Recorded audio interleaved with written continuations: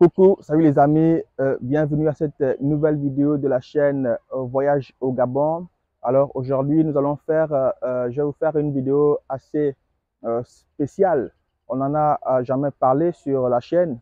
On a évoqué quasiment tous les sujets pour ce qui est du voyage et de l'expatriation au Gabon.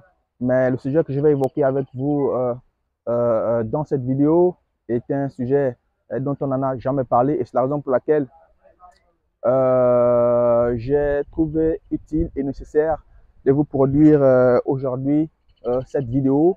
Euh, c'est bien sûr la vidéo en rapport avec euh, le transport au Gabon.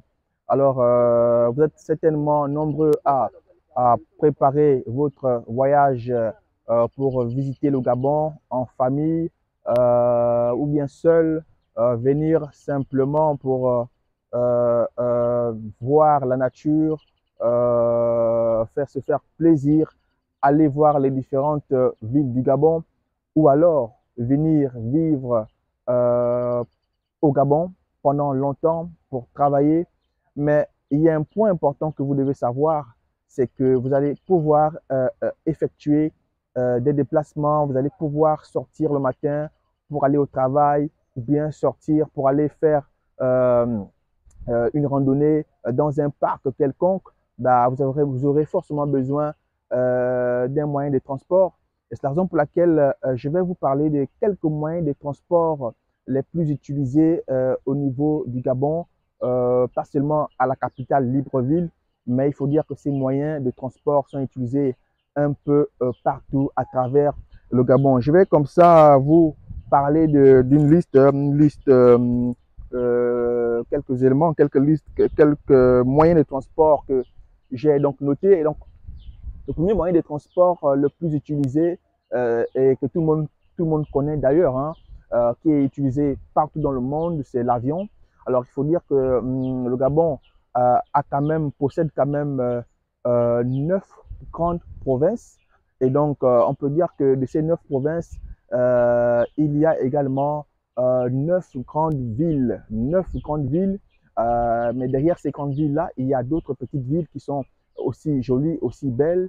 Mais hum, il faut dire que certaines parmi elles, donc certaines de ces villes-là possèdent quand même pour la plupart un aéroport, donc un lieu d'atterrissage pour les avions. Donc, je vais- donc comme ça vous prendre l'exemple, par exemple, de Port-Gentil. Port-Gentil a, un aéroport en bonne et due forme.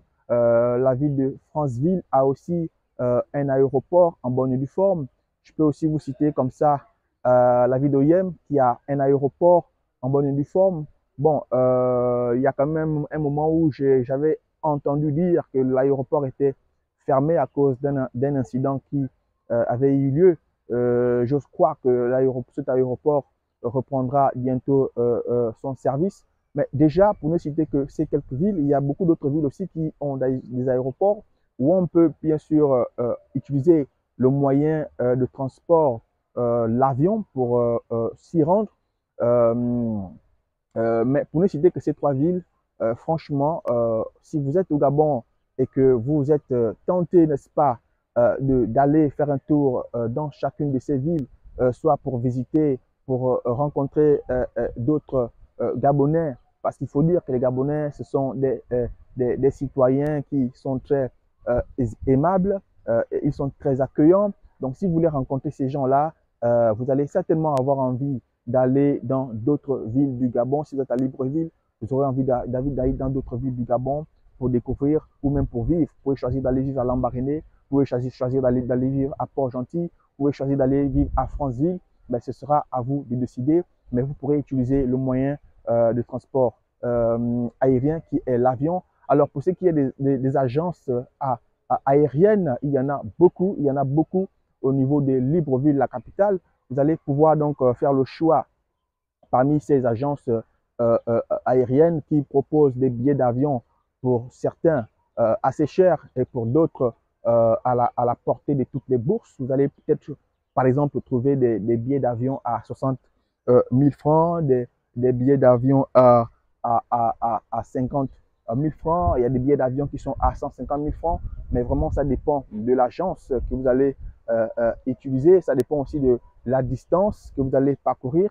Il faut quand même dire qu'en moyenne, lorsqu'on quitte Libreville pour euh, une des villes, une des autres grandes villes du Gabon, on a en moyenne euh, euh, une heure, une heure à 45 euh, minutes de vol, une, une heure à 45 minutes de vol.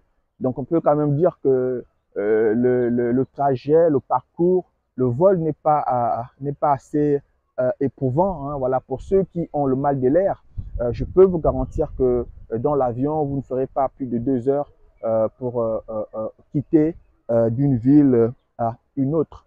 Alors ça, c'était pour euh, le moyen aérien. Il y a également un moyen de transport qui est très, très, très utilisé. D'ailleurs, c'est le taxi-bus. Alors, le taxi-bus, il est quand même euh, euh, un moyen de transport assez fréquent au niveau de la capitale, Libreville.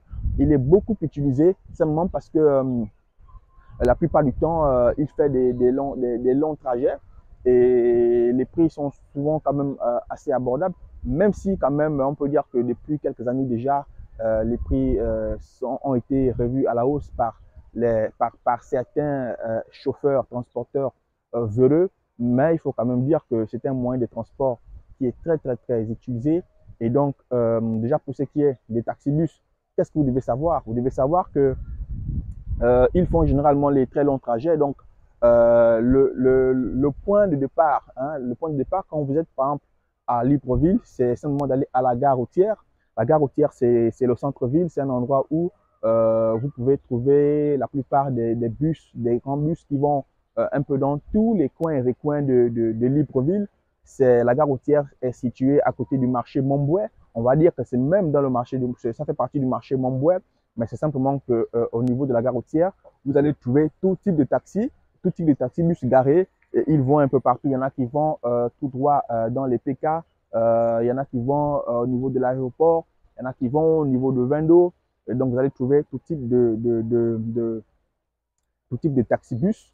Alors euh, le seul petit problème, le seul petit bémol avec ce moyen de transport, c'est que les transporteurs ont l'habitude, n'est-ce pas, euh, de- d'entasser, n'est-ce pas, les clients. Donc vous allez vous rendre compte, vous allez monter dans un taxi pour euh, aller, par exemple, à Ovendo et vous allez, euh, vous allez, vous allez vous rendre compte que vous, sur une place, là où il devait y avoir trois personnes, vous vous retrouvez à quatre et donc très, très, très serré. Parfois, il fait très, très chaud et c'est parfois des situations assez difficiles à gérer. Mais si vous ne voulez pas euh, utiliser ce moyen de transport à cause de ce petit bémol, vous pouvez toutefois euh, euh, opter, opter pour, pour, voilà, pour un petit taxi. Donc, vous allez prendre une course. Mais ce que vous devez retenir pour le taxi bus, c'est que voilà, vous, vous, pouvez prendre le taxi bus. En général, le trajet va de, de 300 francs à 500 francs. Voilà. Quand vous êtes par exemple à la gare routière pour aller au PK12, vous devez débourser entre 400 francs et 500 francs, donc moins d'un moins d'un euro, moins d'un moins d'un euro, euh, sinon un euro, le- voilà le, trajet. Donc ça c'est pour ce qui est ce qui est du moyen de du taxi-bus, hein, le moyen de transport euh, euh, communément appelé taxi-bus, euh, un moyen de transport en commun euh, très très très très très utilisé au niveau du Gabon, mais plus précisément euh, euh, à Libreville, hum, la capitale. Il y a également un autre moyen de transport très très très très utilisé, c'est euh, le mini taxi. Le mini taxi, et c'est un taxi, euh, voilà, qui peut prendre au maxi cinq personnes. Donc on va dire que non, non, non, personnes, la cinquième personne, c'est le chauffeur parce que devant, euh, côté chauffeur, il y a, y a, y a, un client et puis derrière, je pense qu'il y a la place pour trois personnes. Donc en gros, c'est quatre personnes. Et donc, euh, vous pouvez simplement, pour avoir un taxi, un taxi, euh, un taxi, un mini taxi, c'est simple. Euh, peu importe là où vous êtes situé dans la ville, il vous suffit de simplement de se proposer. Il faut dire qu'ici, au niveau du Gabon, on fait des propositions pour se déplacer, pour aller d'un point A à un point B, d'un quartier A à un quartier B à base de propositions. Compte tenu du fait que l'urbanisme n'a pas suffisamment tracé la ville au point de, de, de, de, mettre les numéros comme dans notre ville. Donc ça fait que euh, euh, le seul moyen de transport, le seul moyen de, pour, guider, pour essayer de guider un, un, un taxi, c'est de dire par exemple taxi euh, 1500 au Le Guégué, euh, taxi 2000 francs au Vendo, taxi, 3000 francs marché banane. En fait, la proposition que vous faites dépend en fait de, de comment est-ce que vous jugez le trajet. Si vous estimez que le trajet est suffisamment long et que voilà le taxi euh, va pas accepter de vous prendre à 500 francs, bah, vous êtes obligé de dire 1000 francs pour, ou 1000 francs, 1500 pour euh, que le taxi vous prenne. Donc, c'est vous en fait qui, jugez, qui voyez euh, ce que vous pouvez remettre au taximan. Mais en général, euh, ça varie entre 1000 francs, le plus petit montant, non, 500. Il y a des, y y a des commandes de 500, il y a des commandes de, de voilà, de, de 300, elle commande de 2000 francs, elle commande de 2500, ça va jusqu'à 5000 francs parfois. Donc, en fait, ça dépend, mais vraiment de comment vous jugez, comment, comment vous jugez les choses. Si vous estimez que là où vous allez, c'est pas très loin, ben vous pouvez seulement dire 500 et puis, et puis on vous amène. Et ça, c'est pour, euh, ça, pour euh, le premier point. Le deuxième point avec euh, le taxi, le mini taxi, c'est que non seulement vous pouvez proposer, mais en plus, vous pouvez demander par exemple 1000 francs pour vite aller. Ça veut dire que si vous êtes très pressé, même si la somme que vous demandez, ça veut dire que si le trajet ne mérite pas la somme, peut-être que c'est plus court et que ça ne mérite pas par exemple 3000 francs, mais que vous estimez que bon là il fait tellement chaud, euh, vous, avez, vous avez assez de vous bronzer, alors vous voulez vite arriver parce que vous avez un programme chargé, vous allez aller peut-être à un autre endroit ou à l'église ou au travail, à la mosquée. Alors, euh, vous pouvez simplement euh, donner un montant, euh, un chiffre euh, qui va amener au taximan euh, de vous accepter, voilà, pour vous amener là où vous, vous voulez. Mais il y a un seul petit bémol, il y a un point noir dans, avec ce, cet aspect, c'est que à Libreville, les taximans sont généralement un peu véreux, en ce sens que si vous montez, si vous, vous demandez une course pour aller par exemple à Ovendo, un exemple, prenons un exemple, si vous demandez une course pour aller par exemple à Ovendo, euh, ce qui est intéressant, c'est que si vous dites par exemple 1000 francs, bah, euh, euh, euh, à Libreville pour Ovendo, 1000 francs, c'est pas quand même évident. Mais si vous dites 2500 ou bien 3000 francs, bah, il y a plus de chances que, l'on vous prenne Maintenant, le, le, le, le, petit point noir, le petit point sombre, c'est que, comme je disais, les taximans sont, euh, pour certains, euh, euh, parfois un peu véreux, en ce sens que quand vous allez pouvoir monter dans votre taxi, dans le taxi, euh, logiquement, euh, la course, si vous dites 3000 francs, c'est une course. Voilà, une course veut dire en fait que, vous devez être le seul à être, euh, à être à bord et que le taximan n'a pas le droit d'embarquer de, de, un autre client, un autre passager euh, euh, en chemin. Mais malheureusement, ce, que vous allez souvent remarquer, c'est que malgré que vous ayez proposé une belle somme qui est de 3000 francs, euh, vous êtes pressé, euh, vous allez souvent euh, remarquer que le, le, bon monsieur, voilà, il va s'arrêter comme ça à tout bout de champ pour, pour embarquer euh, d'autres, d'autres, d'autres passagers. Et ça peut, n'est-ce pas, vous perdre du temps, surtout si vous êtes pressé. Si vous n'êtes pas pressé, bon, tant mieux, ça ne vous fera rien. Mais si vous êtes pressé et que vous avez normalement demandé 3000 francs pour vite arriver, à un moment donné, ça peut, n'est-ce pas, vous agacer.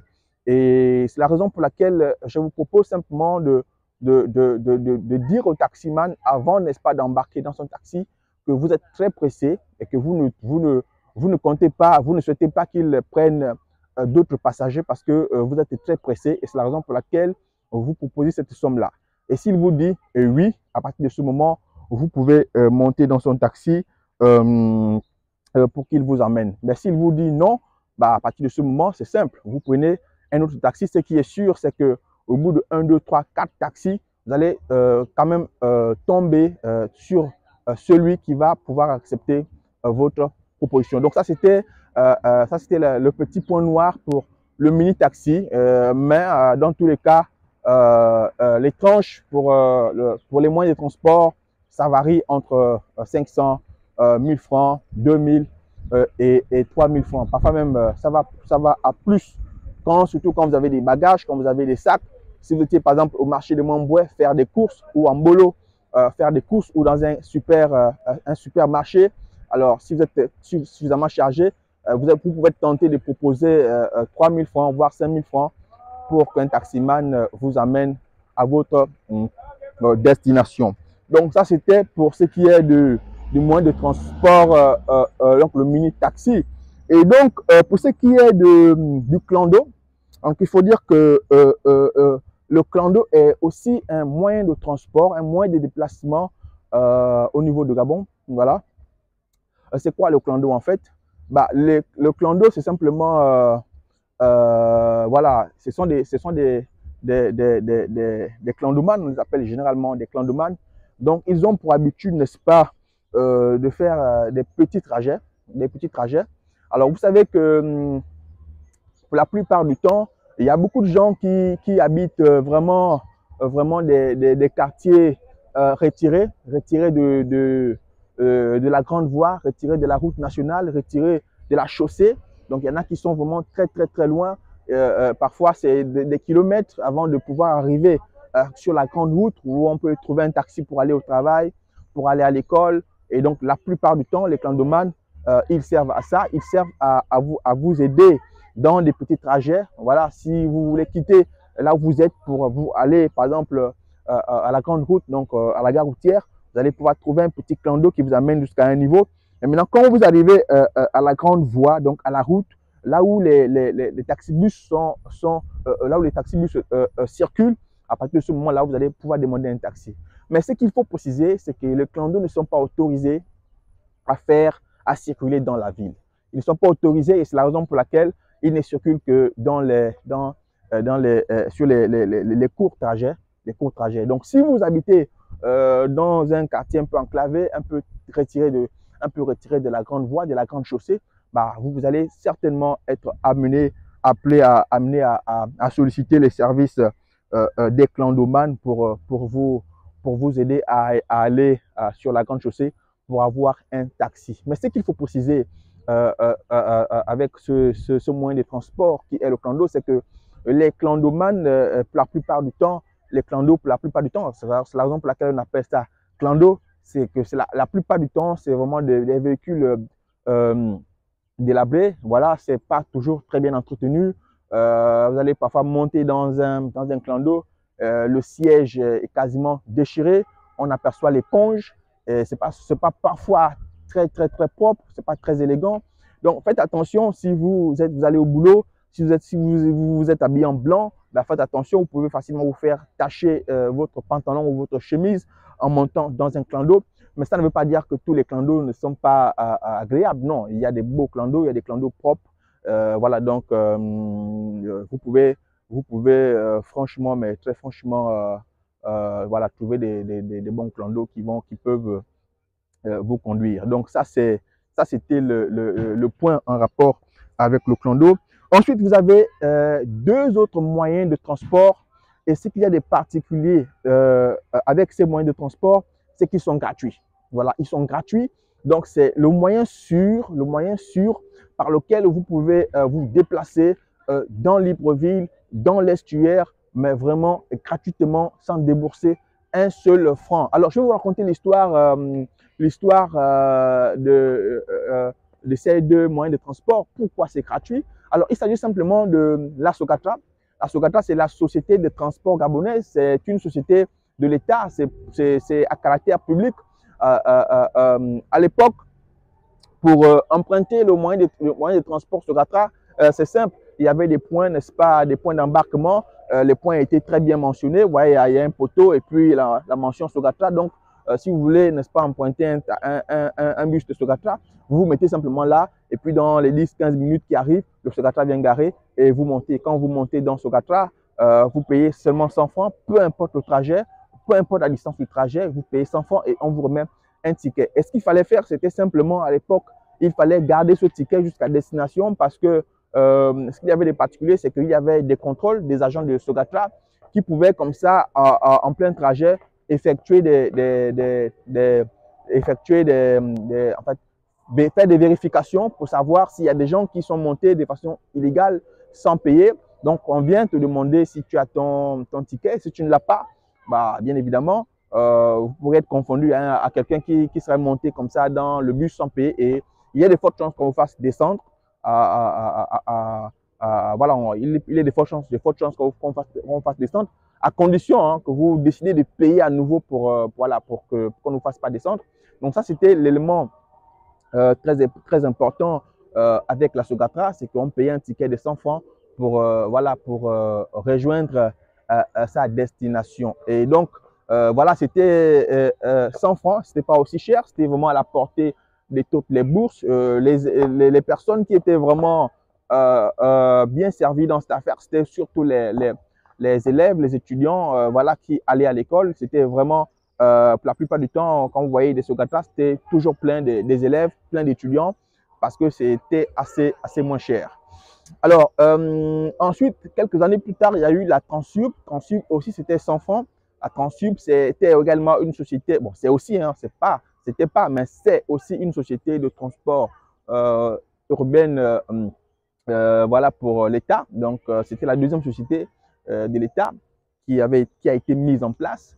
Et là aussi, c'était 100 francs. Euh, et donc, euh, l'histoire, c'est que euh, juste au moment où la COVID-19 a frappé le monde pendant deux ans, l'État gabonais avait donc décidé de, de, faire en sorte que ces deux moyens de transport soient totalement gratuits pour essayer de soulager les populations. Voilà. Et donc, les gens sont restés pendant, pendant presque un an comme ça à, utiliser ces deux moyens de transport euh, euh, gratuitement. Et voilà, quand les mesures euh, restrictives, n'est-ce pas, liées à, la COVID-19 ont été en mis fin, sont terminées, alors à partir de ce moment, voilà, logiquement, tout est rentré dans l'ordre. Mais qu'est-ce que l'État a fait? L'État a donc décidé de laisser ces deux moyens continuer comme ça gratuitement parce que les populations étaient euh, déjà habituées. Et donc, on peut dire que jusqu'à ce jour, euh, vous montez dans un bus Sugatra, euh, vous ne payez pas. Euh, jusqu'à ce jour, vous montez dans un bus Transurbe, vous ne payez pas, c'est gratuit. Alors, le, seul petit bémol, c'est que compte tenu du fait que le service est déjà gratuit, ça veut donc dire que ça devient très saturé ça devient très saturé. Alors, euh, trouver une place dans, chacun, dans un de ces bus, soit Sogatra ou, euh, euh, Transurbe, euh, n'est plus chose facile. Déjà, il faut attendre plusieurs, plusieurs heures quand vous, allez, quand vous arrivez au point d'embarquement du bus. Vous allez attendre plusieurs heures avant de voir un bus arriver pour vous, pour, pour vous embarquer. Et quand vous allez quand même pouvoir monter dans chacun de ces, dans un de ces bus, vous allez très, très, très, très, très serré, mais vraiment entassé. Et ça, ne vous, si ça ne vous fait rien, si ça ne vous dérange pas, si vous, si, vous n'êtes pas pressé, vous pouvez toutefois utiliser ce moyen de transport euh, en passant. Voilà, comme ça, euh, ça peut arriver. Euh, donc, c'est un moyen palliatif pour vous de vous déplacer dans Libreville, dans l'estuaire, dans toute la province de l'estuaire, gratuitement, cadeau, mais sans débourser un seul rond. Donc ça, c'était pour ce qui est des deux autres moyens de transport qui euh, sont euh, totalement gratuits. Euh, l'avant-dernier, l'avant-dernier moyen de transport dont je vais vous parler, c'est les agences de transport.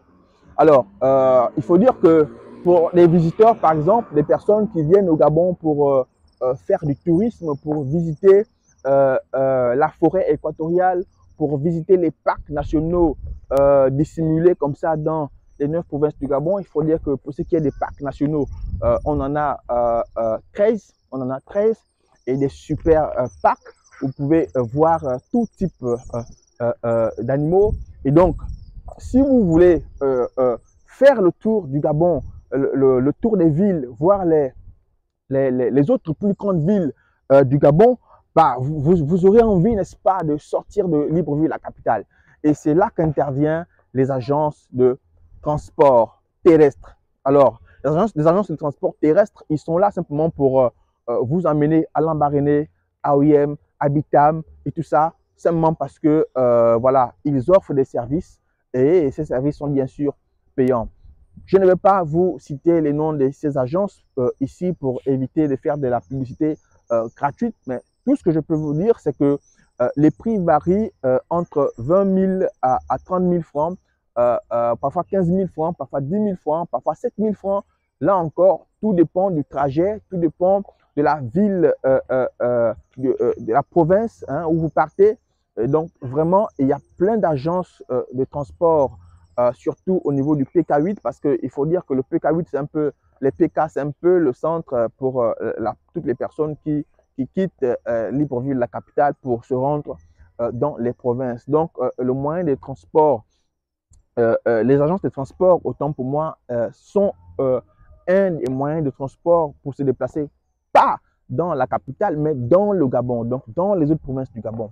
Voilà, donc ça, c'était pour ce qui est euh, euh, euh, des agences de transport. Ensuite, ensuite, ensuite, vous avez euh, les bateaux. Voilà, vous pouvez vous déplacer dans le Gabon en empruntant des bateaux. Un exemple, si vous êtes à Libreville, si vous souhaitez aller euh, à Port-Gentil, euh, bien évidemment, vous allez emprunter un bateau. Si vous êtes à Libreville et que vous souhaitez vous rendre à la Pointe-Denis, vous n'allez pas prendre un bateau, mais des navettes. Il y a des navettes qui, font le tour entre euh, la Pointe-Denis et Libreville. Et en général, ça, pour ce qui est des tarifs, hein, les tarifs pour Libreville, Libreville et, hum, et Libreville à Pointe-Denis, en général, euh, les tarifs varient euh, entre 10 000 francs euh, à 9 000 francs. Euh, voilà la, navette. Maintenant, pour ce qui est des, bateaux, quand vous, voulez aller à, Port-Gentil hein, en bateau, les, tar- les tarifs varient de, de, de 25 000 francs à 35 000 francs. Donc ça, c'est un moyen de transport très utilisé parce que vous savez que Port-Gentil, c'est la capitale économique euh, euh, du Gabon. Donc euh, la majorité des personnes qui viennent au Gabon euh, veulent la plupart du temps soit habiter à Libreville ou habiter à Port-Gentil. Donc si vous souhaitez aller vivre à Port-Gentil, sachez que pour vous rendre à Port-Gentil, euh, vous allez utiliser euh, soit euh, le moyen aérien, donc euh, l'avion, ou alors le moyen euh, euh, maritime, donc euh, le bateau. Alors, il y a euh, euh, un dernier, un dernier, ça c'est un, bonus que je vous donne, euh, un bonus d'information. Il y a un autre moyen de transport pour se déplacer au Gabon, ce sont les taxis compteurs. Les taxis compteurs, ça par contre, c'est, géré par, par l'État. C'est, ça fait partie, c'est un autre service de la société, voilà, Sogatra. Voilà, c'est un autre service de la société Sogatra. Bah, mais ça, par contre, c'est pas gratuit, ça c'est payant. Si vous arrivez à l'aéroport, une fois à l'aéroport international de Libreville, Léomba, vous allez les voir, ils sont tous garés. Alors, euh, le moyen de, paie- de, de paiement est simple. C'est le compteur qui, va à chaque fois euh, mentionner par rapport euh, au kilométrage. Donc, pendant qu'il vous, vous, serez en train de rouler, ben, ça va, ça va, le compteur va, pouvoir calculer la somme. Si vous allez très loin, bah, la somme sera certaine euh, plus importante. Si vous allez à côté, la somme sera peut-être moins importante. Donc, euh, voilà un peu, chers amis, pour ce qui est des moyens de transport au niveau de euh, Libreville au Gabon. Euh, J'espère que cette vidéo t'a plu. Et si tu arrives sur cette chaîne pour la première fois, je t'invite simplement à t'abonner. Clique sur la cloche de notification et surtout, laisse-moi un pouce bleu. Dis-moi en commentaire ce que tu aimerais que je puisse produire très prochainement comme vidéo pour répondre à une de tes euh, préoccupations, euh, une préoccupa- préoccupation qui euh, te dérange certainement, un point dont tu aimerais avoir des réponses. Je suis Jerry du blog Voyage au Gabon. On se retrouve à très bientôt pour une nouvelle vidéo.